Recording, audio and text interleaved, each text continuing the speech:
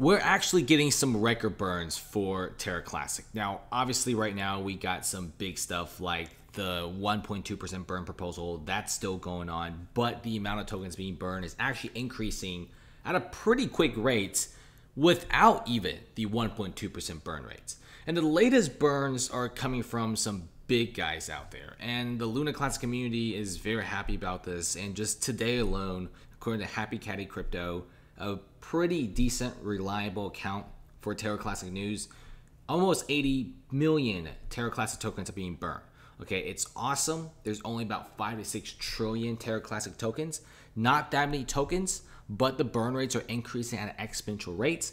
And if you look at the total burn rate just by retail traders, we're nearly 0.02%. It's definitely not a lot. It's very little, okay? And obviously USTC is faring way better. But this is just from retail traders that are willing to burn at their own interest and their own rates. So 80 million is still very, very good, you know, all things considered.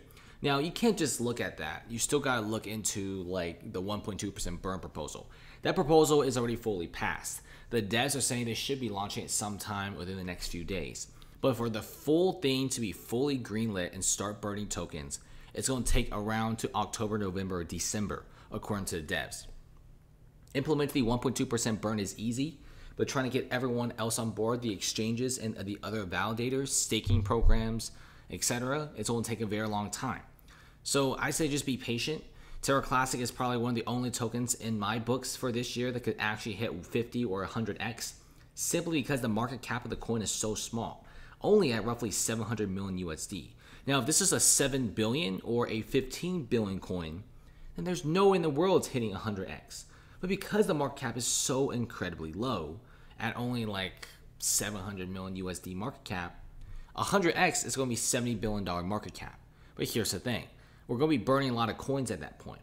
So let's say we burn half tokens within the next one and a half years, highly possible, a good crypto bull rally, and we can hit a market cap of 30, 33 billion dollars market cap, which is the original value of Terra Classic before the massive scandal and the massive drop.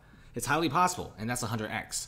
So get ready, guys. Thanks for watching, and see you later. definitely check out the private Discord server for some awesome trades. Free for the rest of July, only $10 after. Check it out.